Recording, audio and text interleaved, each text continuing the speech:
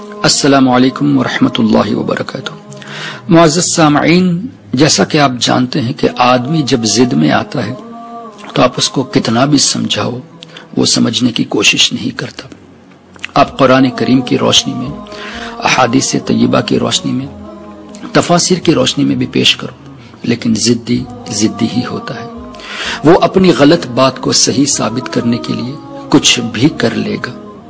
اسی طرح کا ایک معاملہ نبی کریم صلی اللہ تعالی علیہ وسلم کی مبارک ولادت کے موقع پر آج کل دیکھا جاتا ہے۔ اور یہ کوئی نئی بات نہیں، اس لیے کہ نبی کریم صلی اللہ تعالی علیہ وسلم کی مبارک ولادت کے موقع پر ابلیس خوب رویا تھا۔ تو آج اس کے پیروکار میلاد کے وقت روتے ہیں۔ اب چونکہ میلاد شریف تو ثابت ہے میلاد شریف نبی کریم صلی اللہ علیہ وسلم کی ولادت مبارکہ کا ذکر کرنا یہ قرآن سے ثابت، یہ حدیث سے ثابت، یہ تفاصر سے ثابت، یہ ائمہ کرام کے اقوال سے، ان کے عمل سے بھی ثابت۔ چونکہ یہ لوگ اس چیز کو ماننا نہیں چاہتے، اب لوگوں کو کنفیوز کرنے کے لیے یہ بات آگے پیش کر دیتے ہیں کہ بارہ تاریخ جو آپ ولادت کی مانتے ہیں، یہ تو دراصل وصال شریف کی تاریخ ہے۔ نبی کریم صلی اللہ تعالی علیہ وسلم کی ولادت کی تاریخ تو بارہ نہیں ہے۔ اور یہ بھی کہتے ہیں کہ جس کو تم مانتے ہو اعلیٰ حضرت امام احمد رضا رضی اللہ تعالیٰ عنہ، انہوں نے بھی تو آٹھ تاریخ ہی کو مانا ہے، انہوں نے بھی تو آٹھ تاریخ کو ہی لکھا ہے۔ اللہ اکبر۔ دیکھو، آدمی جب زد پہ آتا ہے تو بزرگوں کے قول میں بھی یہ تحریف کرنا شروع کر دیتا ہے۔ یہ جانتا ہے کہ سنی مسلمان اعلی حضرت امام احمد رضا کو مانتے ہیں، لیکن یہ نہیں جانتا کہ اعلی حضرت کو اس حیثیت سے مانتے ہیں کہ اعلی حضرت کبھی قرآن اور حدیث کے خلاف نہیں گئے۔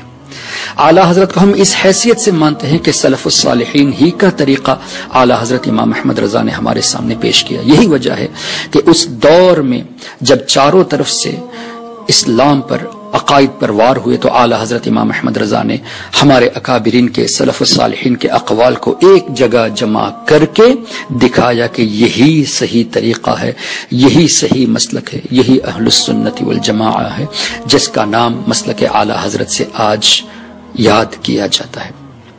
اب اعلی حضرت امام احمد رضا کی کتاب میں نبی کریم صلی اللہ تعالی علیہ وسلم کی ولادت مبارکہ کا تذکرہ جب ہوا، جب سوال ہوا ولادت پر تو اعلی حضرت امام احمد رضا نے کئی اقوال پیش کیے، آٹھ کا پیش کیا، نو کا پیش کیا، کئی تاریخ پیش کی اور یہ بھی تو لکھا کہ جمہور علماء کا یہ قول ہے کہ بارہ ربیع الاول شریف نبی کریم صلی اللہ تعالی علیہ وسلم کی ولادت کا دن ہے اور اسی پر عمل بھی ہے۔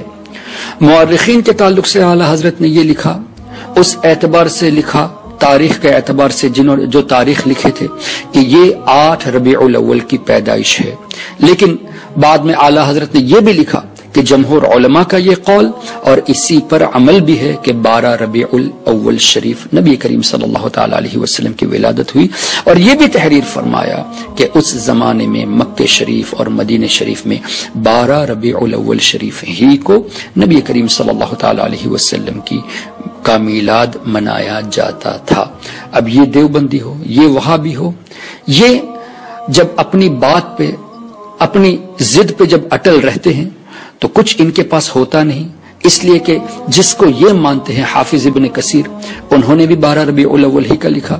اور وہاں بھی جس کو مانتے ہیں، شیخ محمد بن عبد الوہاب نجدی، اس کا بیٹا عبداللہ بن محمد بن عبد الحب نجدی نے اپنی کتاب مختصر سیرت الرسول میں بھی بارہ ربیع الاول ہی لکھا۔ اسی طرح ہمارے اکابرین میں سے امام ابن شیبہ رضی اللہ تعالیٰ عنہ نے بھی بارہ ربیع الاول لکھا۔ شیخ عبدالحق محدث دہلوی نے بھی لکھا۔ کئی بزرگوں نے بارہ ربیع الاول ہی لکھا۔ ان سب کو نظر انداز کرتے ہوئے اعلی حضرت کی وہ بات جو انہوں نے تاریخ کے اعتبار سے، مورخین کے اعتبار سے کہی کہ آٹھ ربیع الاول ہے، اس کو پکڑ کے بیٹھے ہیں، لیکن یہ نہیں دیکھتے کہ اعلی حضرت نے یہ بھی لکھا کہ جمہور کا قول، جمہور علماء کا قول بارہ ہے اور اسی پر عمل بھی ہے اور اسی تاریخ کو مکہ شریف اور مدینہ شریف میں میلاد منایا جاتا ہے۔ یہ ہے ان کا بغض۔ اللہ تعالیٰ ایسے شریر لوگوں سے ہمارے حفاظت فرمائے۔ یہ کوئی نئی بات بھی نہیں ہے ان کا ایسا کرنا۔ اس لیے جیسے میں نے شروع میں کہا کہ یہ ابلیس کے پیروکار ہے۔ اللہ تعالی ہمارا ایمان سلامت رکھے۔ اور نبی کریم صلی اللہ تعالی علیہ وسلم جن کی ولادت کے صدقے میں سب کچھ ہمیں ملا، ان کی یاد میں خوشی منانے کی ہمیں توفیق عطا فرمائے۔ والسلام علیکم۔ اگر آپ نے ابھی تک ہمارا چینل سبسکرائب نہیں کیا، تو ہمارے چینل کو سبسکرائب کر لیں۔ یہ کس شہنشاہ والا کی آمد آمد ہے۔ یہ کس شہنشاہ والا کی آمد آمد ہے؟ بولو مرحبا بولو مرحبا بولو مرحبا۔